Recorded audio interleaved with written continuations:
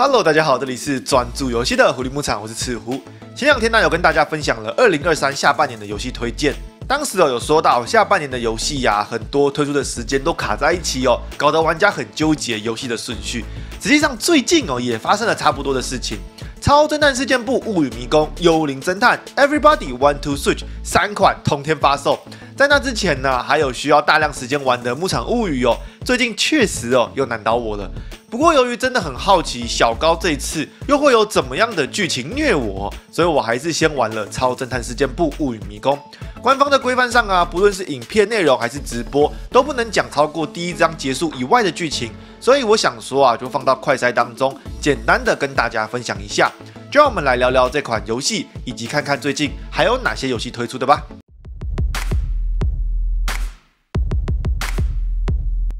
超侦探事件簿物语迷宫这款游戏，如果开头所说是六月三十号在 Switch 上推出的游戏，这款游戏呀，在推出之前呢，就受到了不小的关注。很大的原因啊，就在于参与游戏编剧的人是过去推出枪弹辩驳系列的小高和刚，他笔下的剧情复杂与反转哦，很多时候都能够让玩家措手不及。除了编剧之外啊，这次的游戏包含音乐与美术，也都有枪弹辩驳系列团队的人参与其中。站在玩家的角度来说，很容易会把这款游戏视为枪弹辩驳的精神续作。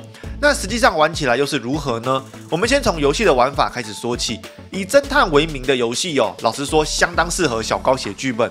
游戏中啊，我们要扮演的是一个失忆的侦探，透过身上的资料来获得自己的身份的线索，并且根据现有的资讯，踏上了一个解开案件的旅程。游戏在玩法上确实很有枪弹辩驳的影子，不过我们在获取资讯的操作上，这次设计成了第三人称的视角，场景中会有各种可调查的提示，每一个调查或许都会对案件的厘清有很大的帮助。移动的部分呢，除了可以寻找线索之外，根据剧情的需求，在一些关键时刻会出现 QTE 的操作。游戏整体啊，还是有把游玩的过程以篇章的方式来区分开来。这边的篇章啊，并不是说剧情的章节哦。举例来说，在第零章的时候，我们移动的阶段呢是探索阶段，这个时候所发生的是正常的时间流逝，并且我们可以在这个时候获得资讯。当正常阶段结束，就会进入事件阶段。在事件阶段结束之后啊，就会进入到这次主打的全新游戏玩法——迷迷宫阶段，需要透过破解迷迷宫来找出事件背后的真相，并且找到谁才是真正的凶手。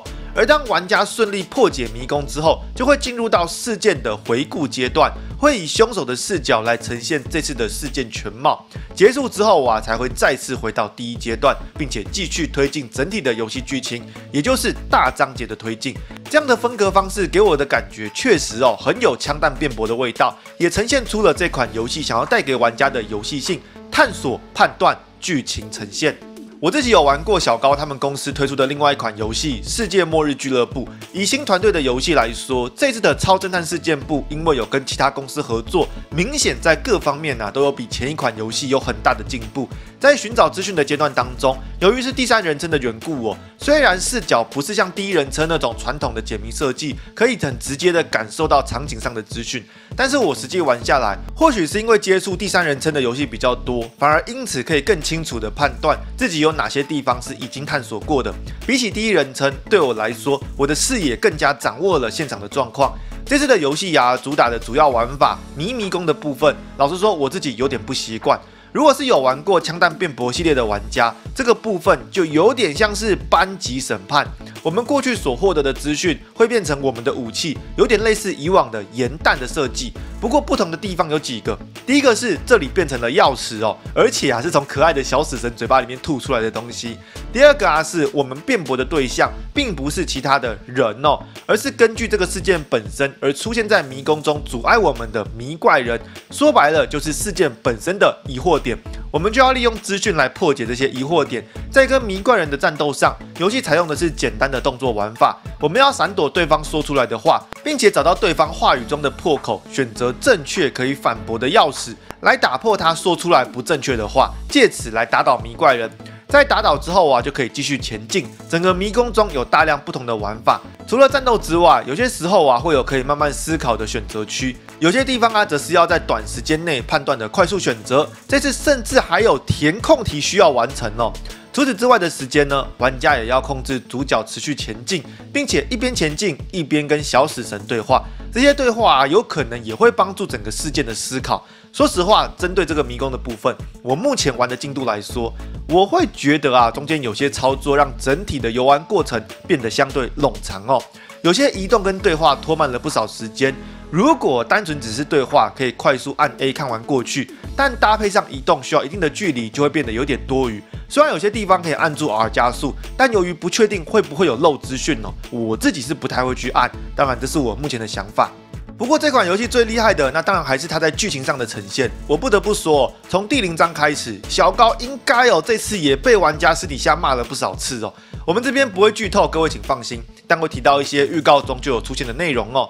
刚刚有提到小死神的存在，实际上它的由来啊，我目前也不清楚，只知道啊，它是跟在主角的旁边，并且可以变成正妹召唤迷宫。他在跟主角的对话当中，会很常提到各种作品当中的设定，让整体的对话变得莫名的有趣好笑，绝对是这次文本设计上非常厉害的地方。而在剧情的剧本上，刚刚有提到小高会被骂，这次的剧情啊，真的又是那种开头你想了半天，都已经在帮自己做心理建设喽，然后发现小高狠狠的打你脸的设计。如果有玩过他们推出的游戏啊，应该不会太陌生。我的感受上，这款游戏又更加夸张了。如果你以前呢就喜欢被小高弄了之后再来骂小高，那这款我觉得会很适合啦。游戏中啊，小死神有说了一句话：只要盯着他的胸部八秒，问题就都解决了。当你看剧情想要骂小高，请先盯八秒；当你觉得迷宫很拖时间，那再盯八秒。我是不晓得对你们有没有用啦，反正我是继续玩下去了。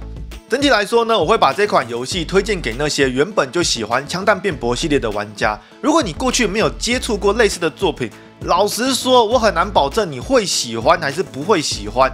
要说的话呢，这款游戏把很大的重点放在玩家的思考与剧情呈现上，比起一般的解谜游戏，它更喜欢做的是逼迫玩家去往自己觉得不可能的方向思考。如果是喜欢这种风格的玩家，那就可以考虑。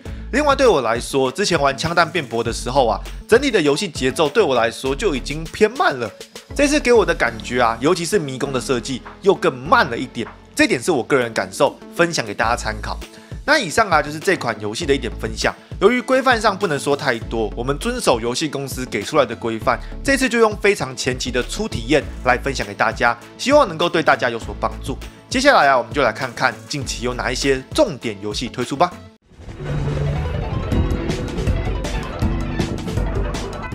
皮克敏一加二已经于六月二十二号在 Switch 上推出。皮克敏系列四代同平台哦，一加二啊有以合集的形式推出，也有分开贩售，大家可以根据自己的需求来买。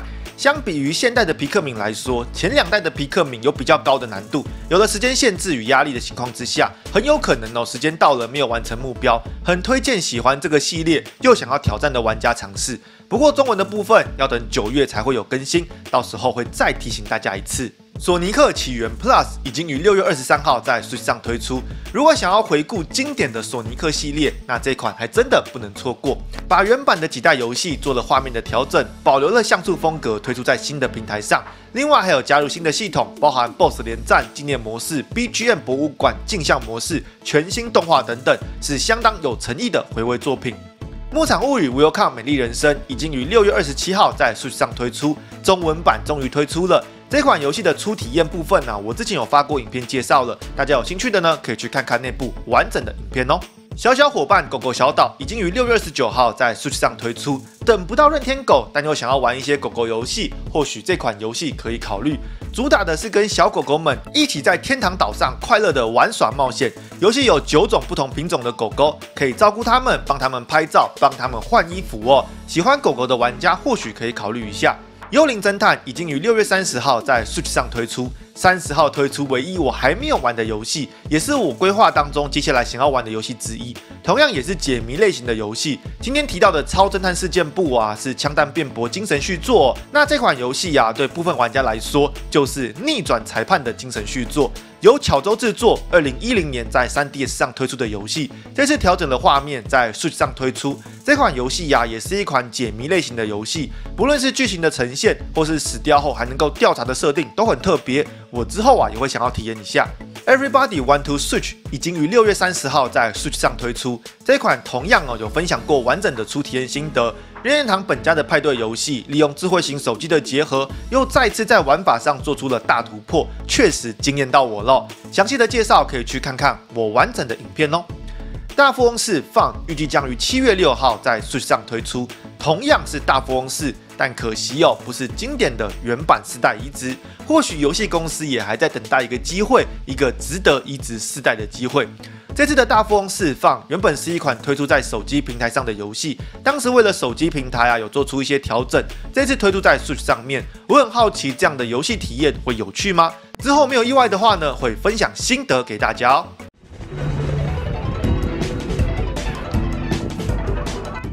七月四号，《工人物语》新同盟策略类资源中文。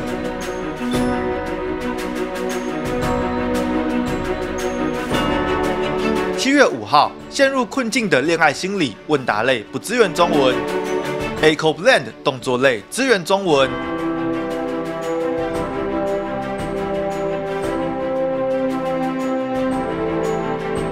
，Gmix Special Edition 横向动作类不支援中文，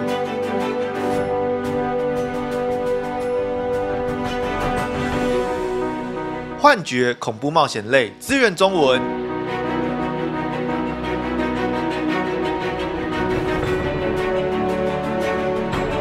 剑与谷二横向动作类不支援中文，The Path Within 点击冒险类支援中文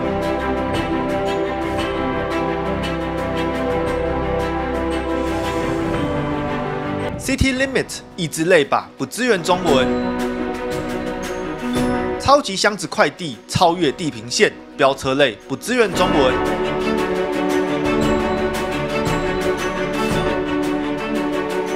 极尽的宇宙冒险类支援中文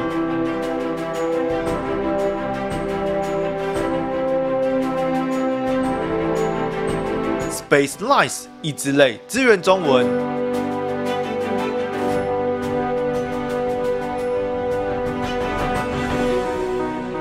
脑活动研究所锻炼大脑类不支援中文。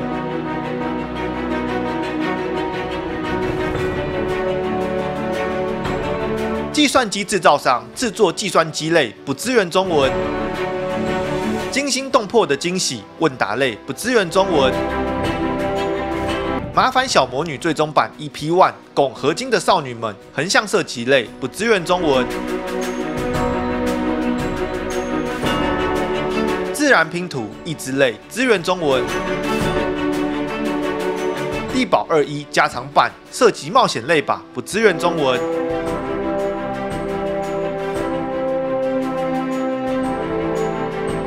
漂亮公主魔法园一小岛模拟类不支援中文，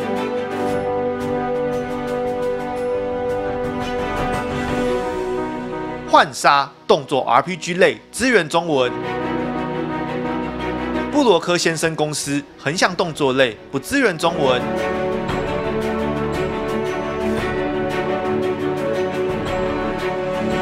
移动阻碍益智类支援中文。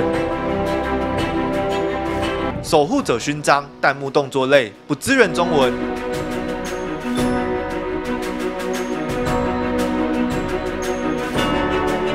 多愁善感死亡轮回生存冒险类支援中文。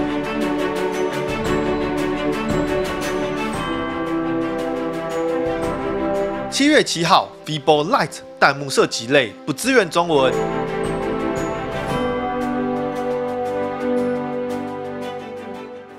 以上啊就是这周即将要推出的游戏，最近要补的游戏真的很多，有玩的部分呢会陆续分享心得给大家。要是有些游戏呀被我放掉了，但你真的很想要看心得的，也欢迎留言提醒我。有些啊可能我玩了，但因缘际会之下就没有写心得了。最近大家又都在玩什么游戏呢？欢迎留言分享。那这次的影片就到这边结束了。如果你喜欢我做的影片，我还有其他的影片可以看哦。我是赤狐，祝各位游戏愉快。